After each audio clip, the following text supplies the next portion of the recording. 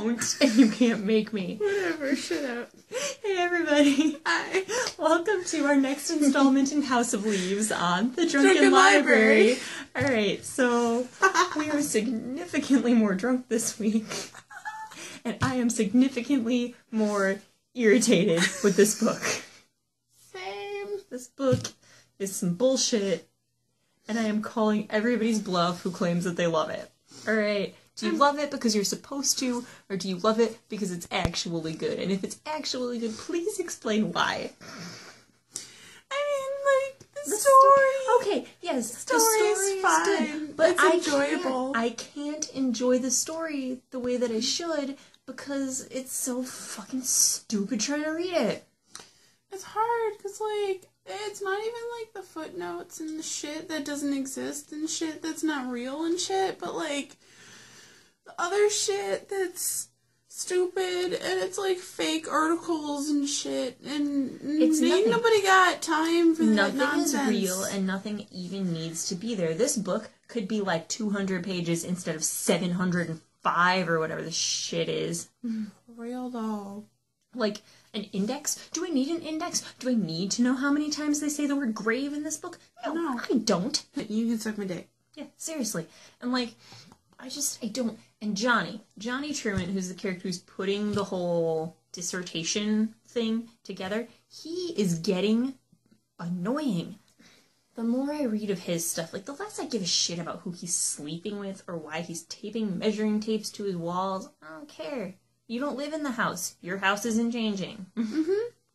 Um, uh, just like I, the whole, the only part that's the actual story about what's happening with the house It's good. is good.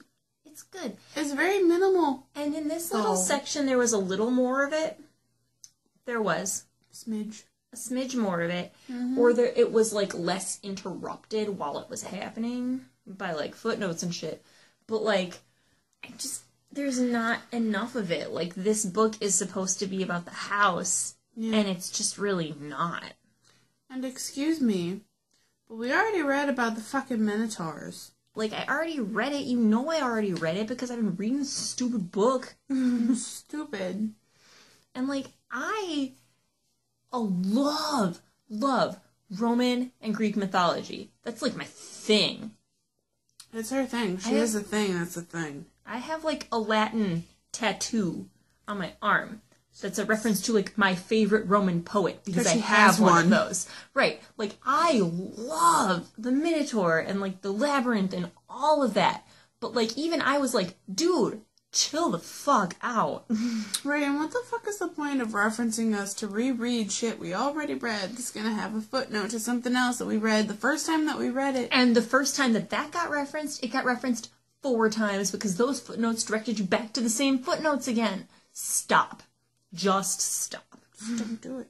It's not necessary. We're not fans. the story itself is getting like really intriguing at this point but i just i feel myself not wanting to pick this up and read it because i just it's too, it's excessive it's too, much. other shit going on. it's too much I don't want to read about echoes. I don't want to read about labyrinths. I don't want to read about psychological shit from the teachers of the kids of the dude in the house. and then that shit came up like twice because it was from her perspective and then it was from their perspective Yeah. why i just feel like the experience of reading it isn't fun for me and you know that's really disappointing because i love reading so much and i love the process of reading and most books like i get completely sucked into the world and like i want to know what happens and like most of these characters i don't care about one we cared about just died. yeah, what's this bullshit? Way to bullshit? ruin everything in this book that I cared about. Yeah.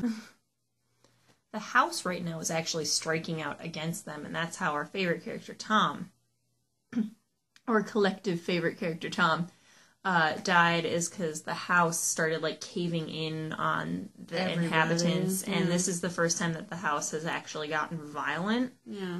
Uh, before that, the house would just like expand or contract or do It's what sort it of like consequences of the environment versus physical attacking. But like So, the like- house started to like the roof just caved in. And the walls started going. The walls started shit. going apeshit. The, The floor floors just like disappeared. all ape shit. It turned into like a quicksand kind of situation. Yeah. Like it's banana sandwich. He did shit in the corner though. Everybody shit somewhere. Try to play it off like the main dude, camera, father, husband dude is gonna die, but I'm But like, he doesn't. he's the and then one they that keep edits the referencing that he edits the video and then So, he comes like- back and gets the tape. So I know Yeah, he lives like, through the whole you thing. know he's fine. and so I'm not really invested in his future because I know he makes it out okay.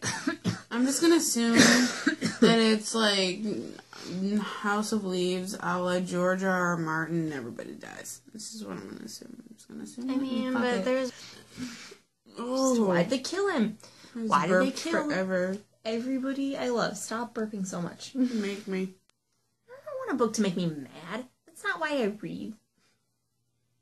Like, every hmm. once in a while, sure, but like, Mostly I was just upset about that dog I forgot about until now. I'm dizzy. It's for you. yeah. So that is our take on this chunk of House of Leaves. Next week we should be able to get through the, rest, rest of it.